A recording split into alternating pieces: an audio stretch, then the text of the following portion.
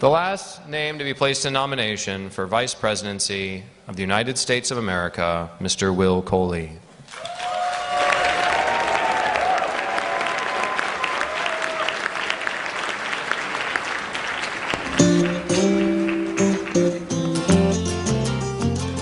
Okay, um, my name's Caryn Ann Harlos. You all have heard from me before when I was endorsing Darryl Perry.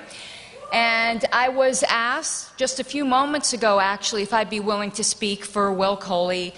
And I said, sure. So this is not going to be nearly as prepared as last time, and I'm certainly not as uh, professionally dressed as before, but I think that this really reflects on us as libertarians that we can do things on the spot and be both formal and informal.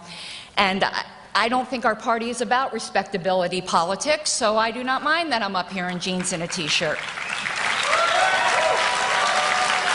Now, first thing I would like to say is even though I had endorsed somebody else, we all need to get behind Governor Johnson. He is our nominee, and we need to move this party forward. And I would like to say something about Governor Johnson that I've respected extraordinarily much is in his campaign he has conducted it with class. And that is something that I greatly respect. Now, Gary spoke before, and unfortunately, I might have to say some things that are a little bit critical, not necessarily of Governor Johnson, but of things that are of great concern to me. Gary spoke about representing us all and asked for us to choose his particular vice presidential nominee. But as you know, as libertarians, we select these separately and we don't necessarily have to take his choice.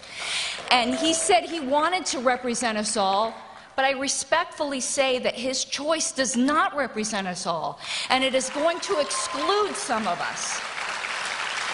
And what I ask of all of you and I would say the person that would accomplish this most is Will Coley.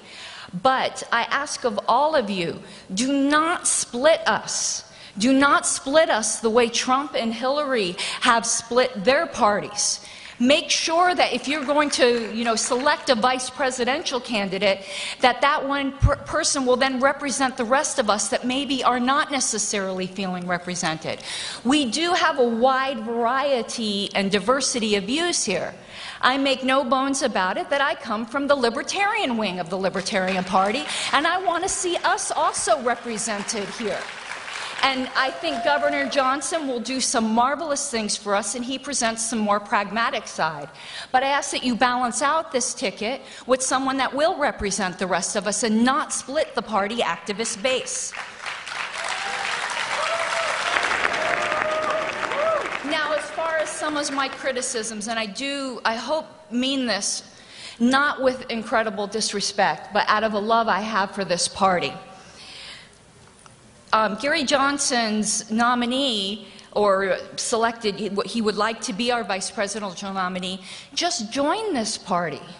And I haven't been with this party a great deal of time, but I can tell you when I first joined, I was asked to do things for the Libertarian Party of Colorado.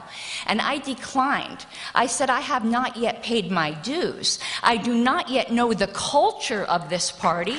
And we're talking about someone who just read our platform. I had for myself a minimum of a year in this party of going out and doing outreach booths and volunteer efforts and put in my dues before I would ask for people to give me some kind of position. And I don't think we should be doing this for one of our highest office. And I hope I do. This is coming across with respect and just out of passion and love. Now, uh, Gary also spoke about we're trusting him to get the message out, and we do need to trust him.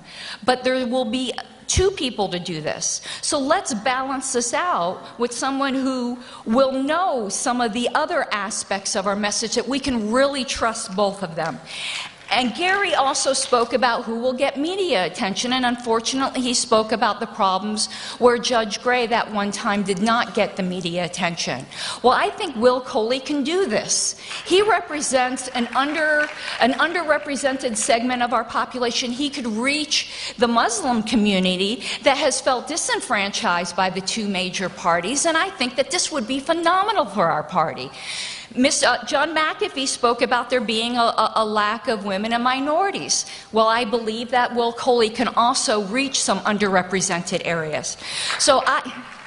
I asked you yesterday for Darryl to stick close to principles, and I recited to you our party statement of principles, and I ask that you all bring that to mind, that you stick close to principles, and for, you know, to run with Governor Johnson, that you would pick somebody who really, really sticks close to principles and keep our party base, keep us from our, in, in our roots and where we know where, we're, where we came from. And I'm sorry this wasn't as polished polished as my other one, but I hope that I've spoke from my heart and that you will represent us all in your choices. We, we select our vice presidential nominee separately. I ask that you choose Will Coley or someone that has also dedicated the time to this party and didn't just read our platform two weeks ago. Thank you.